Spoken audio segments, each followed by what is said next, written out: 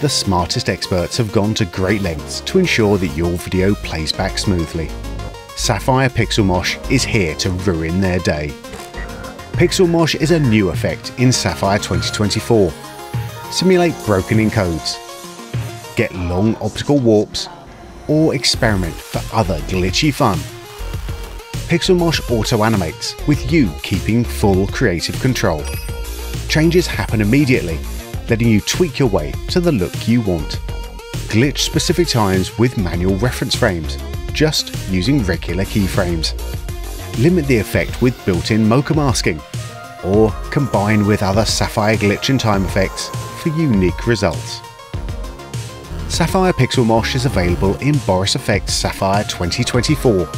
Download a free trial or get a free upgrade for all users on a current subscription or support package at boriseffects.com. If you prefer, hang out with me, Ben Brownlee for Boris Effects, and I'll take you through how you get started with Pixel Mosh. We're going to start looking at Pixel Mosh in After Effects, but we're going to head into other applications later as well. And the nice thing about this is that wherever you learn Pixel Mosh, you can take those same ideas to whatever host you're working in. All right, so let's take a little look here. This is our shot that we are going to be creating. And it's a, ooh, it's a nice, uh, nice kind of glitchy look that we have. There we go. And let's have a little look at our original footage. And if you take a look, this is good footage for Pixel Mosh because we have a relatively static scene, but we do have um, some movement within certain areas of it, namely her face. All right, so let's let's apply Pixel Mosh and see what it actually does. You'll find Pixel Mosh in the Sapphire Stylize area. So if we take a look at the Pixel Mosh parameters, you can see we do have quite a lot of control available over this effect. But it's worth taking a moment and just, you know, breaking this down into um, certain areas so that it doesn't actually seem all that scary. The whole of the top area we'll ignore for now and we'll, we'll come back to a little bit later. Um, we really, you know, have broken this effect into two different areas. We have the flow warp, which is what is going to be giving us the distortion, which we can see here. Uh, and we have the uh, pulse frame as well. And currently this is set to off. So we'll leave it off and we'll just focus on the flow warp for now. What Pixel Mosh is doing is in many ways uh, replicating what happens when uh, a video is encoded to a lot of modern codecs like you know H264, H265, that sort of thing. So what these codecs are doing is instead of encoding every single pixel on every single frame, it encodes up a a sort of um, master frame or one frame called an intra frame. This is where it does map out all of the uh, uh, all of the pixels with some compression, but we'll leave that for now.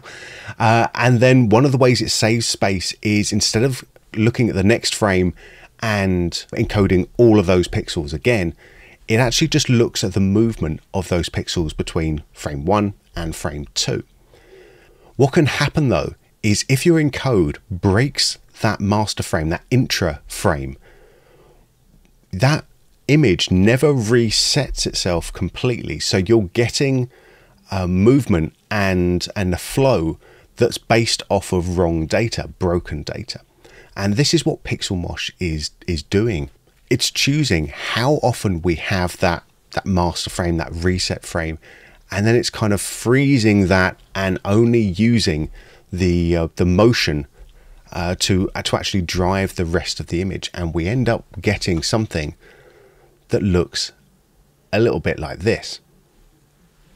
So we can see that warping happening where we have the flow driving the image but it's it's sort of based it off the the wrong start frame, so to speak.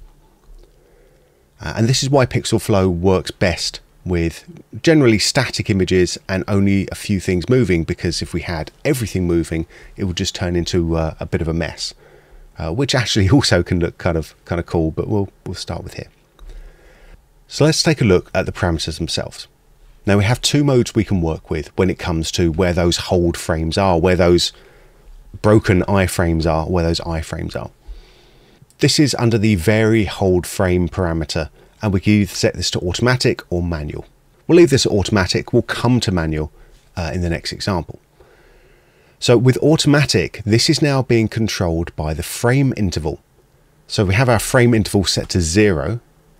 We're basically playing back every single frame or we're resetting every single frame, which means that we don't get you know, any of the effect. If I set this frame interval up to five, we get a reset every five frames. So if there's a lot of movement within those five frames, we're going to get a, um, a good amount of, uh, of distortion. But if there's not, we'll only get some very, very sort of subtle areas. So let's have a little look and play that back. We can see just at the end here, we've got the maximum amount of distortion. You know, this is the before it actually resets again on the next frame.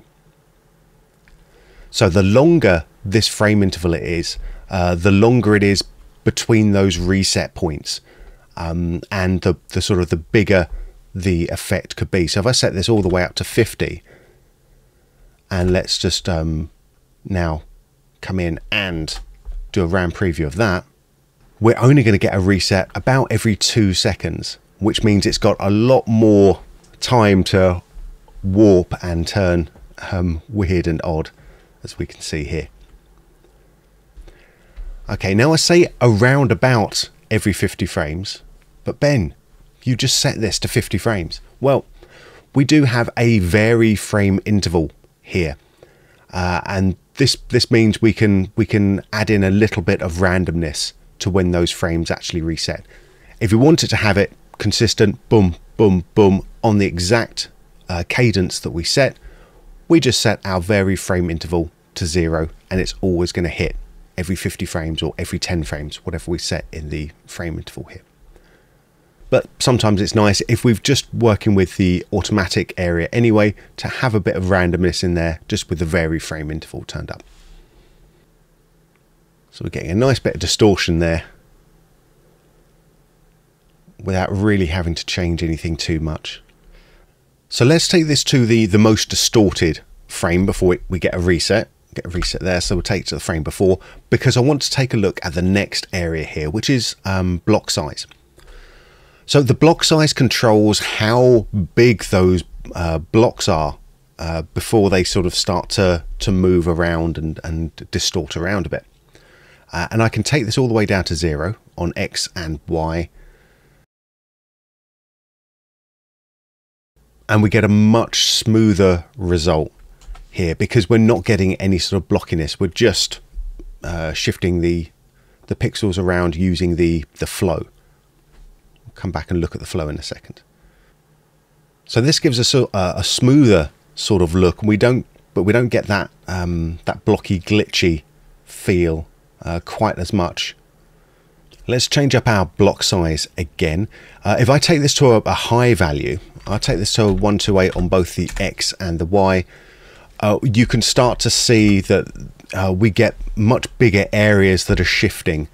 So we get a, a more sort of demarcated area uh, happening as we start to uh, come in and warp the elements up.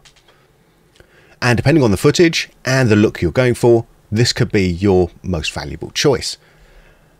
I think this looks kind of interesting. Well, you see, you see different different areas, different parts of the mouth just sort of floating around almost. A bit more spooky. The final thing that we're going to look at is the flow warp scale. So this is what's actually happening. This is how much uh, the, the warping that we're getting from that movement. Uh, and it's currently set to 1 by default. And if we set this up higher, we get more distortion happening uh, in the areas of the image that are moving. And we can even set this to a negative number as well set that to zero, we don't get any distortion. We set that to a negative number. It actually sends it back in the opposite direction of where the flow would be moving. And as soon as you start to go beyond one or, or negative one, this gives you a much more exaggerated feel to it. But how do we see what that flow is? Well, we can look at this if we come all the way down to the bottom of the uh, the parameters. We have this show drop down menu, and this has been set to result by default. So we're, we're seeing what happens at the end of the effect. We could set this to source and see what uh, is the source image, or we can set this to flow, and this is coming in and showing us what our motion uh, vectors are, or our flow vectors are. So this is now set to blue. So this means that we have just the uh, original frame. This is one of our reset frames. But as soon as we go a frame before, we can start to see how that image starts to, to change up a bit. Uh, and we can see flow, we can see the flow vectors. So again, this is the, the change from the original image. It gives a kind of interesting effect anyway. Uh, we have flow blocky. And now we can see what's happening with our block size as well. So this is uh, letting us visualize what those blocks are doing. We have the flow coordinates. I'll turn my uh, viewer exposure up here. And these are the coordinates of what's what's going to, to happen and how things are, are going to be pushed around. Let's take my flow warp size back down to 1 if we look at the original example again, we can see I have also come in and keyframed up flow warp scale so we don't have to keep that flow warp scale uh, to be the same. So I've keyframed this from from 1 to negative 1 to 2 to 1 again. So we can build up even more glitchier looks uh, just by doing some simple uh, animation on that flow warp scale. And if we look at this back, uh, as it plays back, you'll see that the effect itself is contained within the head. And this is the last thing I'm going to show you on this shot. Now, like most uh, Sapphire uh, filters, we have Mocha built directly into the effect. So if we come into Mocha, you can see that I've drawn up and tracked in a very simple shape just around her head, her face, and this is being used as a mask uh, on the effect when we come back into the image. If you want to learn more about Mocha masks inside of Sapphire, you can take a look at the Boris Effects website and have a look at the training area. There are other tutorials dedicated directly to that. Let's take a quick break now, but join me in the next part where we start to look at the other modes and some of the other effects that we can begin to use with Pixel Mosh. If you've created something interesting with Pixel Mosh, don't be afraid to share it in the Boris Effects Discord channel. Full details in the description below. Otherwise, join us on borisfx.com for more details about Pixel Mosh, Sapphire, and all the Boris Effects products, plus hours of free training.